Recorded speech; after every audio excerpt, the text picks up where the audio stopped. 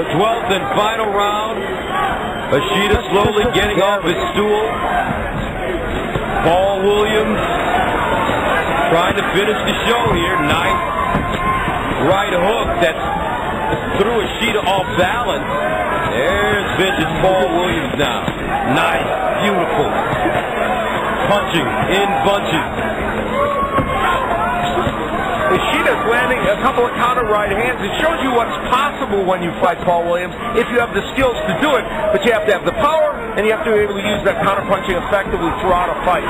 Uh, we'll see Paul Williams in a big, big fight here shortly because, you know, uh, these guys now feeling like, hey, we got opportunities. Maybe we can put a Paul Williams on our resume and maybe get a big win or something. But it's going to have to come at a risk because it looks like if he can get back to the drawing board and sharpen up his ability, he may be able to uh, beat a man once again in his division. He certainly has fought well tonight. He's, it's a very solid effort, as we said, and there's a nice straight left hand. But he's also demonstrating against a 154 pounder here that his power is not devastating at this juncture in this weight class. Uh, and, uh, you know, one of the bigger knockouts he had was Carlos Quintana some years ago. But other than that, you know, it's mostly winning decisions and and, and accumulation of punches. Still would like to see him go down to 154. I mean 147. Well, if you There's can, some money down there for him if he could get there. Yeah, but you look at Paul Williams, I wouldn't want to see him lose another ounce, man. I just don't think he got it. yeah, I don't think 147 is. I think I think he's at the weight he's supposed to be because 160 is too big and 147 is too small. And this 154 pound division is a great division.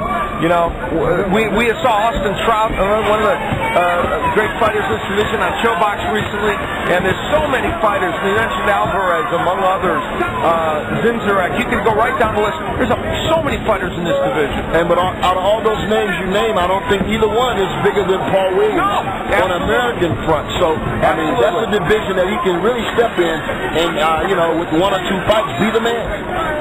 And of course, James Kirkland, who is the man that uh, Ishida beat and who came back and uh, beat Alfredo Angulo. And, uh, you know, uh, so there are great names. And you're right. Paul Williams, though, is, has a certain cachet with all those fighters. 23 seconds to go. In this fight, Paul Williams should feel good about his performance. Yeah, I think so. I think so. He didn't get clipped with anything big. Uh, he's controlled this fight from the onset. onset. And uh, hey, he's landing some big punches right down to the 12th round. Hey, So, uh, no, no conditioning problems, Al. No conditioning Absolutely. problems. And let's not do revisionist history. There were a lot of people on different television networks elsewhere that picked Ishida to win this fight. So Ladies and gentlemen, after 12 rounds of action, we have a unanimous decision. All three judges score the bout 120 to 108. All three in favor of the winner, Paul the Punisher Williams.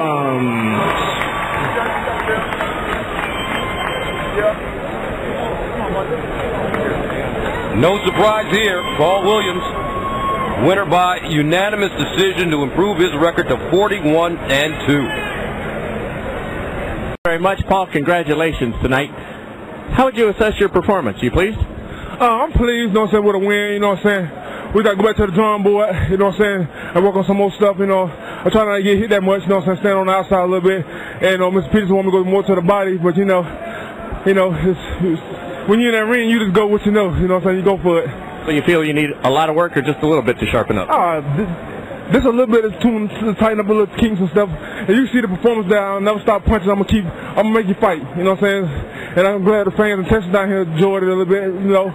But um, Ashita, he's tough, tough, tough, look good, you know, a little guy, you know what I'm saying? Uh, I give a lot of credit to him, you know what I'm saying? He came to fight, you know, but I just outworked him. After the controversy with Lara and the seven months, the time that you've taken off since that fight, how much does this help you regain your confidence and just step back into this ring and, and know that you can be in command of a fight and, and put that past you? Well, I feel real good, you know what I'm saying? I got another belt, you know what I'm saying? It's a little WC belt, but it's a step to the big, big, big belt, you know what I'm saying? Like, them guys out there, like Chavez Jr., I would love to get in the ring with him. Uh, Alvarez, I love getting in the ring with him. And definitely another Martinez, you know what I'm saying? Them guys know. Bob Kirkland.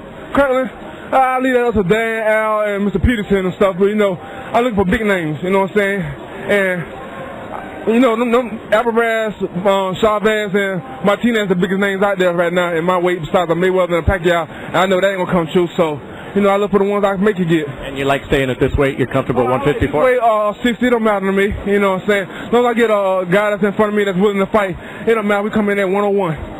I don't think you can take any more off. Paul, congratulations. Great fight tonight.